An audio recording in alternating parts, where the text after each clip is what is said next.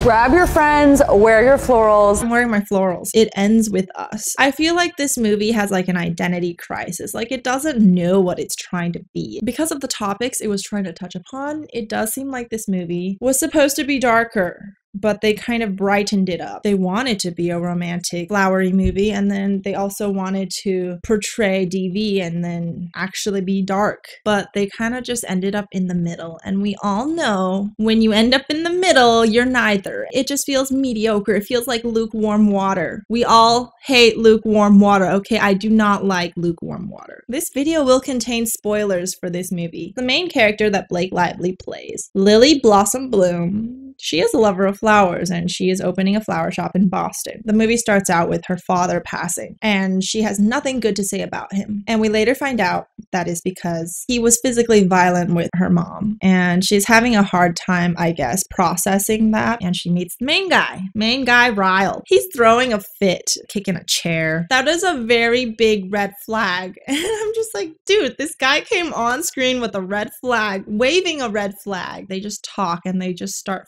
flirting. You're just like, oh, is it gonna be one of those romantic movies? I was scared of this guy. Like, even though they tried to make it subtle. And I understand that they're trying to make it subtle because they're like, you know, a lot of the times you can't really tell with people like this. Sometimes you're in a relationship and you're blinded by your love, which Lily was. I liked how this film, the moments where he was violent, they didn't really show it very clearly. Like, they made it seem like an accident, which is because we're seeing all of this through Lily's eyes eyes. It seemed like he didn't intentionally want to harm her, but then in the end, when Lily finally comes to her senses, we do get to rewatch those scenes as they actually happen, and you could tell that he actually purposefully hit her, pushed her down the stairs, you know, did all that. That was a cool thing the movie did. The other main character is Atlas. He is Lily's first love. We get to see a lot of flashbacks. Actually, I really like the flash. At first, I was like, why are we getting such long flashbacks back to her high school years? This relationship between her and this other guy was blossoming. Eventually, in the present day, Lily's opening her flower shop. She's getting together with Ryle. I don't know if she's playing hard to get or whatever. See, this is the part in this movie where I'm just like, what are you trying to say? She's interested in him, but she's also trying to play hard to get. But then he's also not backing off when she's saying no. So I'm just like, are you trying to are you trying to make this sort of a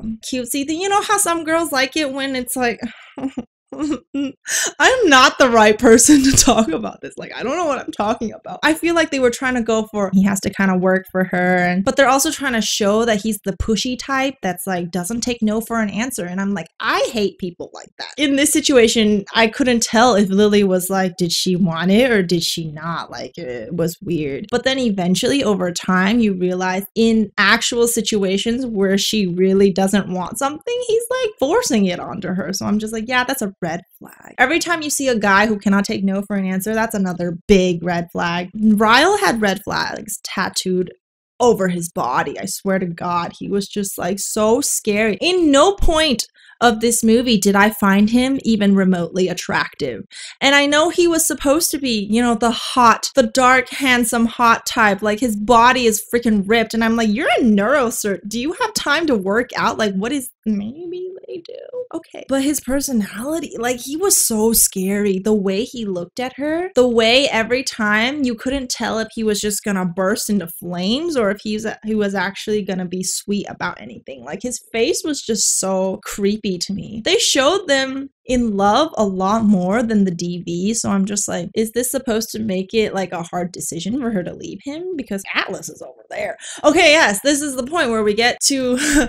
the part where coincidentally, okay, Atlas, her first love, actually opened a restaurant in the city because she's in Boston, I guess, because they talked about moving to Boston when they grow up. So uh, makes sense. He he followed through with his promise. It's sad because he's not real, guys. Atlas doesn't exist. Okay, there's no one in this world who is Atlas. He's like waiting for her. I swear to God, he opened the restaurant because, and he named the restaurant after the things that they talked about when they were young. Okay, there, there was a whole thing, and then I'm just like, so he's just single, waiting for her this whole time. I mean, who does that?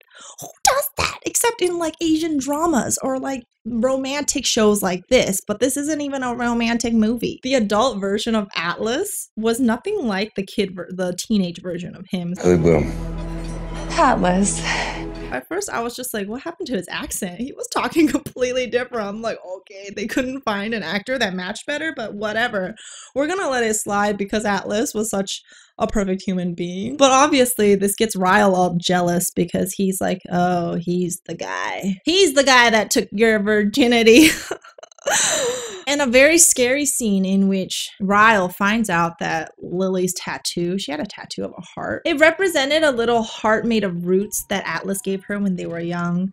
And then she never told Ryle. She still clearly had feelings for Atlas. So Ryle's jealousy was actually justified, like because she technically was hiding stuff from him. If she felt the need to hide things from him, it's his fault for making her feel uncomfortable to the point where she couldn't tell him these things. Like she had to hide the meaning of her tattoo. But he finds out through like a magazine feature because Atlas's restaurant is like ranked number one.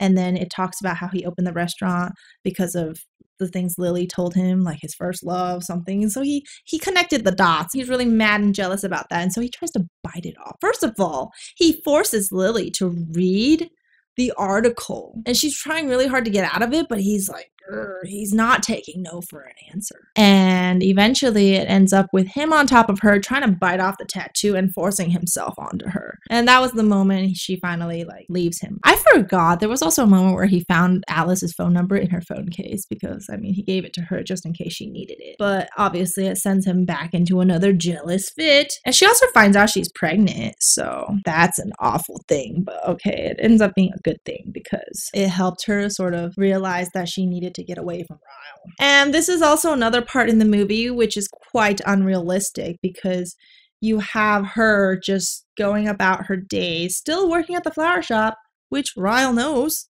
So I'm just like, he was trying to message her, call her nonstop. She's not picking up. He never went to the flower shop to hunt her down. Any kind of stalkerish, can't take no for an answer, red flag guy would have just hunted her down. In the end, they're kind of on good terms, but she still breaks up with him. She kind of uses the kid. She's like, well, what if our daughter one day tells you that her boyfriend pushed her down the stairs, but it was an accident? He's like, yeah, I can see how that's unacceptable. Okay, I'll back off. And I'm just like, wow, another unreal. This is almost as unrealistic as a guy like Atlas existing in the real world. I don't know. This movie was just, it was hard to believe. I know, I get what it was trying to do. You know, I can see it. Okay, I can see what it's trying to do, but it wasn't executed in the most realistic or even like clear way. It just seemed a little bit too ambiguous. DV is DV. There's nothing you can't romanticize that. It's just not it's not a good feeling. It just feels like what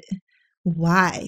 Why, Lily? What are you doing with Ryle? Okay, what is happening? Can you just back off? Like, can we just not engage? like, he's scary, okay? Look in his eyes. He looks like a monster. And then in the end, after several years, she runs into Atlas again. Dude's still single! Damn, he really doesn't exist. I guess it's implied that they get together.